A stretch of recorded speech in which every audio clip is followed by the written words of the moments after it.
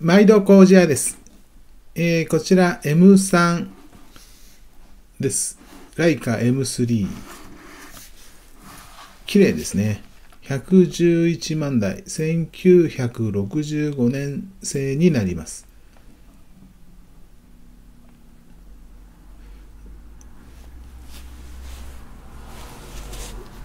久々に本当に綺麗だなと思う M3 ですね。本当にメッキが綺麗、生きてます。こういう綺麗、メッキなんかも綺麗ですね。このストラップの後も、まあ、ほとんどわからないと思います。ストラップつけた後はこのように擦れてますけどね。キャップは当時のキャップ、ポンと置くタイプがついてます。グッタペルカもこれオリジナルです。間違いないです。ただ、やはり、こういうお決まりのところはちょっと落ちてます。あと、ここだったかな。こっちだったかな。まあ、ちょこちょこ落ちてます。あと、ここですね。ここに1箇所小傷があります。それ以外は本当、まあ、普通の感覚の人ならもう文句なしだと思います。綺麗ですね。ここまで綺麗だと再製品じゃないかとかいう方いらっしゃいますが、まあ、こうメッキなど、こういうとこですね。当時のものと思います。この辺もね、再製品は書いてないですね。非常に綺麗。本当に綺麗ですね、これね。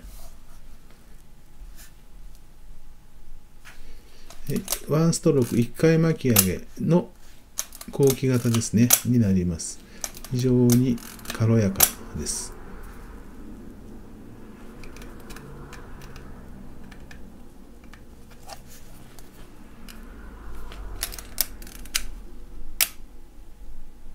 バルブ、小刻みでも大丈夫です。1秒。はい、いいですね。ガバナーもちゃんと音が戻ります。膜もこのように綺麗な状態。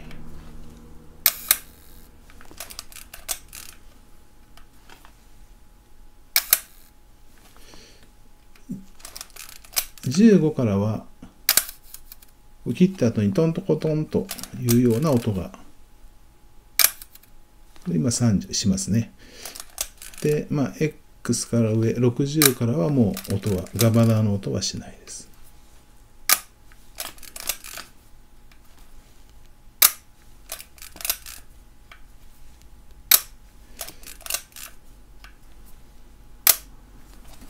まあ、動画だとなかなか分かりにくいかと思います。中も綺麗ですね。カウンターも戻ります。オリジナルがついてます。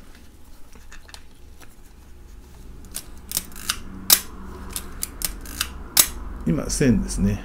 開いてます。500、250、125で60。大丈夫ですね。ほんとこういうところも綺麗です。膜もこのように綺麗。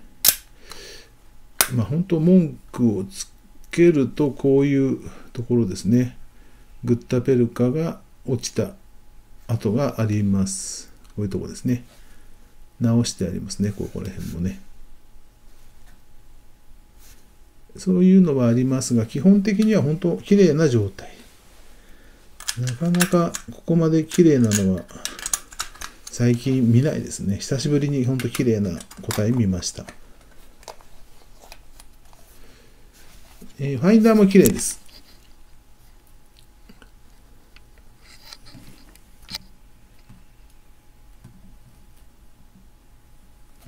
距離計もこのように非常にスカッと見えてますし、フレームの切り替えも大丈夫ですね。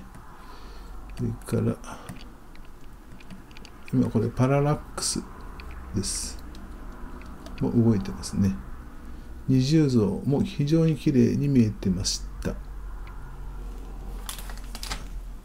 まあ、こうやって離して覗くとこの周辺部とかですね。こちらもそうです。周辺が多少、まあ、バル切れでしょうかね。汚れてる箇所はありますが、まあ、基本的には非常に綺麗です。こちらの距離計も綺麗に見えてますね。本当にいい状態だと思います。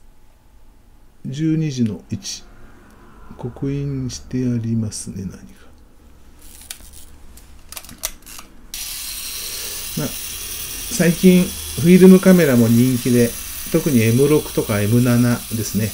非常に高くなってきました。M3 の綺麗なのもね最近見なくなりましたのでね。